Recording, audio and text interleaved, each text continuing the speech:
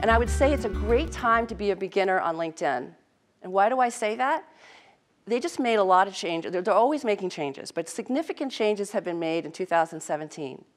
The platform is considerably easier now than it's ever been. It's more intuitive.